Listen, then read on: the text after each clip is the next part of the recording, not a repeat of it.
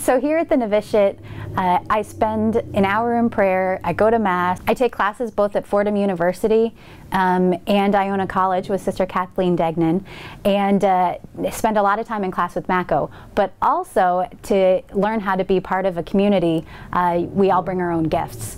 So my role around the house has been cooking occasionally and cleaning, but I also have been kind of helping to fix it up. So I get to install a sink and you know fix the creak in the door and make the dryer open the other way so it's easier for everybody so it's been a really neat uh, fun hands-on experience i had no idea that i wanted to be a sister so my introduction to religious life was to the CNDs, and the more I learned about the Congregation of Notre Dame, I I just knew it was for me. I did explore very briefly into other congregations, but I just had this sense and this knowledge from God that this is right. And the more I read into Marguerite's life and learned about her and journeyed with her in that first year, it, it, it was definitely for me. I was nervous to tell my family and friends, and it took me a while to really get uh, confidence and a speech kind of a prepared prepared text to be able to to broach the subject but every single one of them were wonderful. It really surprised me how um, not surprised anyone was. Most uh, everybody kind of said, "Oh, a what?" Oh yeah, I can see that. That fits perfectly. so there was something very comforting about that to know that the people closest to me completely agreed, and here I thought that they wouldn't understand at all.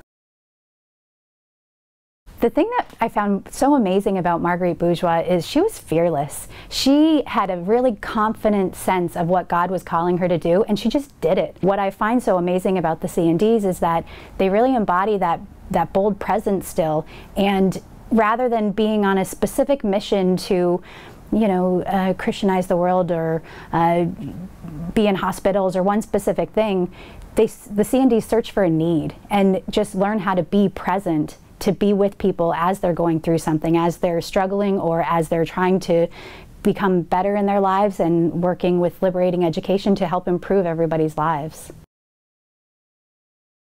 Yeah, the vows as a sister, a lot of people see them as very limiting, but really I've found it's so much more freeing. I've given up so many of my clothes and some of my heels and uh, my car. I don't own a car right now.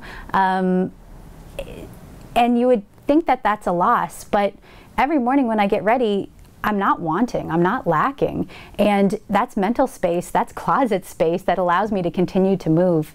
Uh, one of the things that I really like to do is to travel. I've been to over 40 countries and as a novice, that is my biggest fear is how am I going to handle this uh, lack of free spirit to be able to just go and explore wherever I want. But what I've found so far, and certainly through the example of Marguerite, is that traveling is, is still available and the desire to travel is really to meet new cultures and to understand people in a different way. And we can do that just here at home or through the CNDs because they're in Japan and Cameroon and Central America that there is plenty of exploration left to do. So I think my adventure will change, but I, I still see adventure.